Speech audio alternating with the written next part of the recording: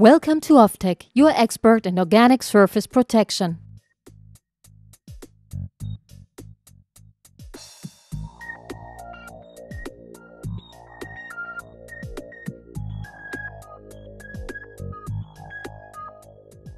The centerpiece of the plant is the control post. Here, all relevant data from the logistics and the KTL control system are gathered. State-of-the-art IT systems guarantee a smooth and in-time process matching the highest quality standards.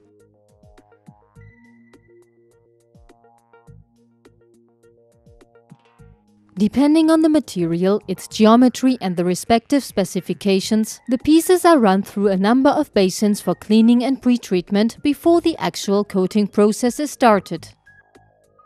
In order to achieve the optimal coating result, it is possible to choose among a large variety of processes.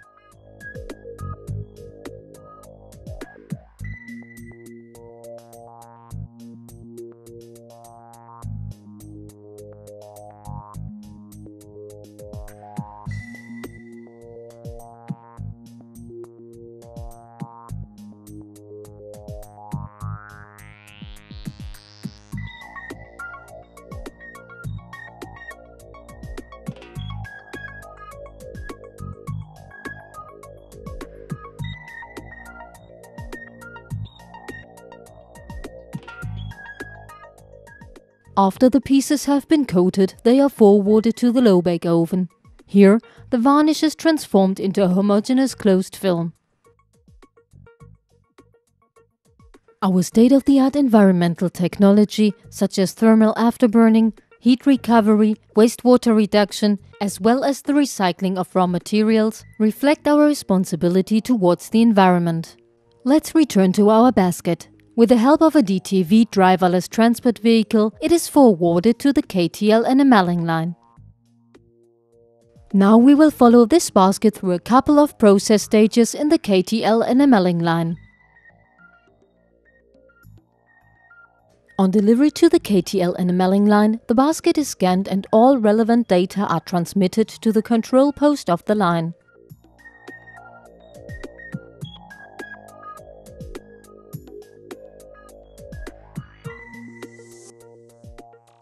In order to guarantee that the repeat quality of the coating remains at the highest level at all times, the parts have to be pre-treated in various basins. With an automatically controlled loading device, the basket is transported to the first basin, the immersion degreasing basin. The immersion degreasing process consists of several basins needed to degrease the parts and to reduce alkalinity. When the parts are immersed, grease and dirt particles dissolve at a temperature of approximately 70 degrees Celsius. These particles are filtered from the basin continuously. The recycled liquid is reintroduced into the basin, which leads to a continuous medium cycle.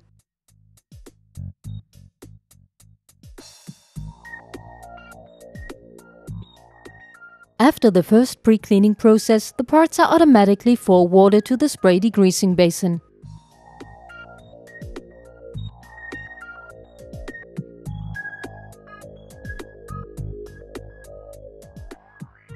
With the help of high-pressure nozzles, the parts are cleansed from remaining dirt particles. Moreover, alkalinity on the parts is reduced further.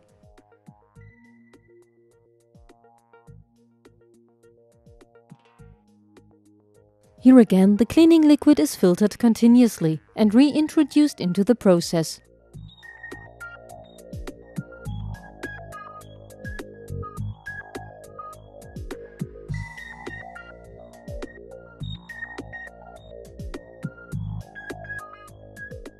After having passed through numbers of additional immersion cleaning basins, the basket is introduced into the pickling basin. In this basin, alloyed or slightly alloyed parts are immersed into a sulfuric acid-based metallic mordant. This pickling process derusts, descales and pickles the parts and creates a highly reactive metal surface. Following a couple of additional cleaning processes, the surface of the parts is activated by immersion into a special titanium phosphate liquid. This treatment causes increased nucleation on the metal surface and leads to a quicker layer formation of smaller crystals with a lower layer weight. When the activation process is finished, the charging basket is transported to the phosphatizing basin.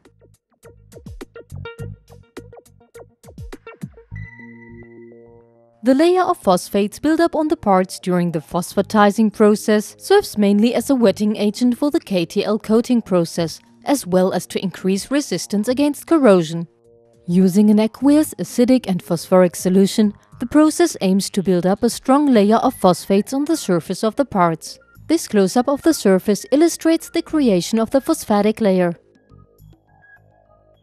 The reaction ends when the entire surface is covered with a layer of phosphates. After a couple of immersion processes, the basket is forwarded to the passivation basin.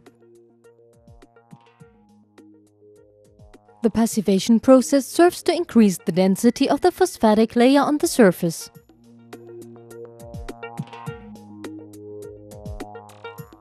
The close-up of a cut through the surface of the part shows how the structure of the surface refines as a result of the passivation process.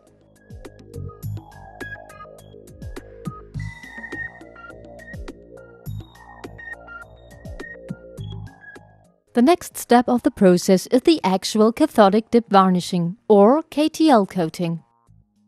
The flocculation of the varnish is caused by a chemical conversion of the binder, also called coagulation. Coagulation is caused by current conduction.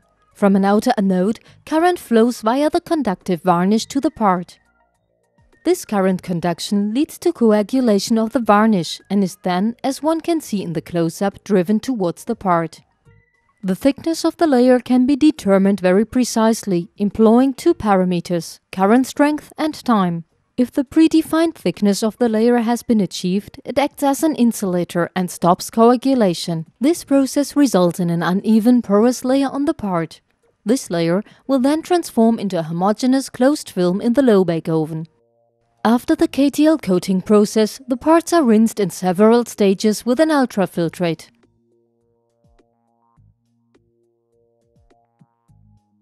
This process eliminates varnish residues from the surface of the part, which are then returned into the varnish basin.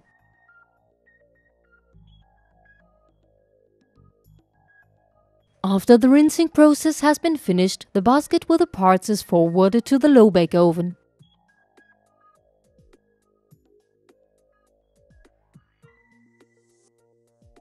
Transportation to the low bake oven is fully automatic.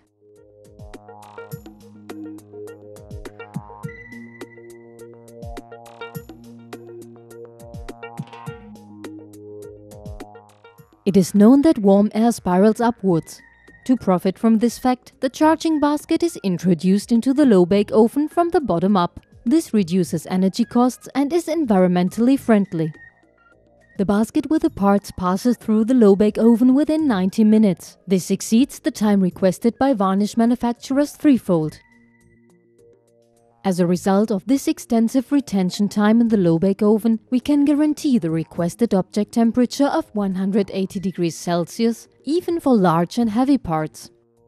This close-up shows a detail of the surface of a part during the low bake process.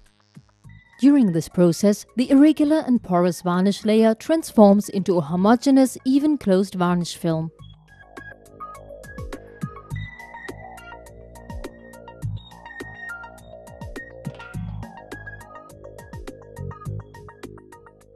After the bake process has ended, the basket is removed from the oven on the opposite side and is forwarded to the cooling line. The cooling line has two functions. First of all, it serves to cool down the parts and secondly, it serves as a temporary storage and sorting facility before the parts are returned to the workplace. As soon as the cooling process is over, the baskets are transported to a handling area where they are picked up by a DTV and forwarded either to a buffer station or directly to the workplace. OFTEC stands for surface technology that matches the highest demands for the reliability of your products.